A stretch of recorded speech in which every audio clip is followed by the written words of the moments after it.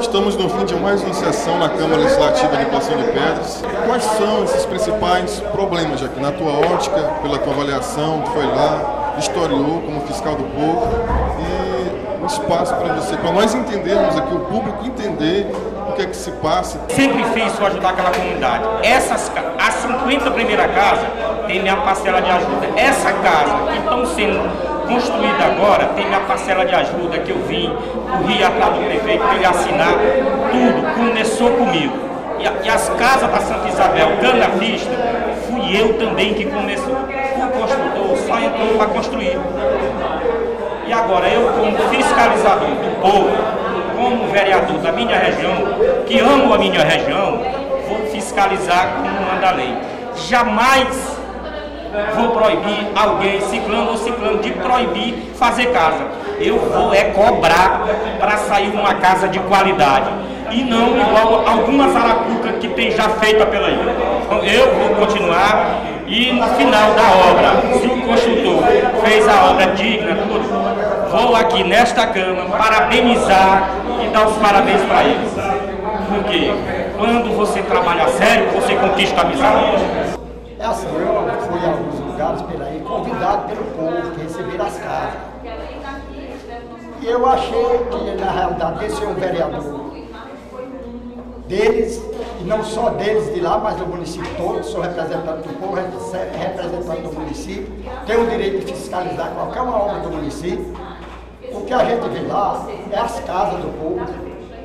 Um mês de dois anos de feito, o povo aí bota pau, de abacuado para não cair por cima deles. Eles acabaram de me dizer, eu disse, não, rapaz, nessas casas tem uma fiscalização aí, tem IGE, disse, tudo aqui nunca passou ninguém, ficaram lá no meio da estrada. E por que, que você não falou para o chefe que trouxe as casas, que você está trazendo para você? Mas ele disse que aqui ninguém tem direito de fiscalizar. Aí prendeu o povo dos coitados. Só que eu fui, está aqui filmada, eles conversando, está aqui é, as fontes das casas, tudo rachada, caindo, comendo um ano. Para algumas observações dos vereadores sobre o assunto que foi debate na manhã desta segunda-feira na Câmara Legislativa.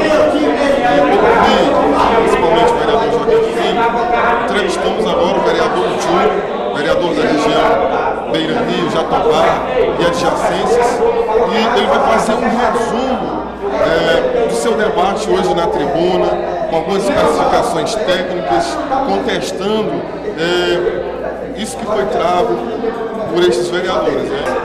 Eu quero dizer a vocês o seguinte, gente, eu tenho conhecimento, porque é da minha região, onde essas associações estão é, prestando esse trabalho, estão executando essas obras, e eu, como vereador, fiscalizador do povo, estou aqui para defender essas associações de forma que estas unidades que não forem entregues ainda ao povo vão ser entregues de, de maneira correta, de maneira certa.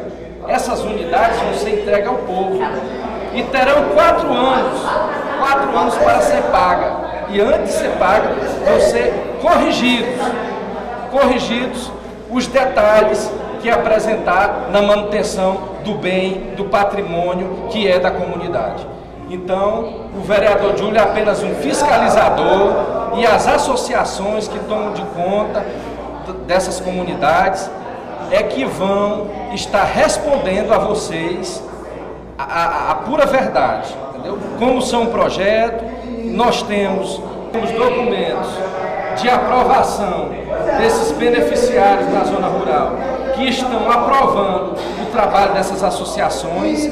Esses documentos são documentos assinados e rubricados por cada beneficiário, atestando que, como diz aqui neste documento, através deste, nós beneficiários do Programa Nacional de Habitação Rural, vinculado ao programa Minha Casa Minha Vida, do governo federal no povoado Lucindo, atestando que esta associação executa de forma legal e eficiente a produção de nossas unidades habitacionais, com materiais de qualidade e mão de obra qualificada. Está aqui o documento assinado, entendeu? Essas obras vão ser entregues este ano ainda, entendeu? Pelas eh, as associações, entendeu? E vão ser é, corrigido qualquer tipo de problema que for detectado, detectado pelos engenheiros credenciados do, da Caixa Econômica Federal e pelos beneficiários que são os maiores fiscalizadores dessas obras.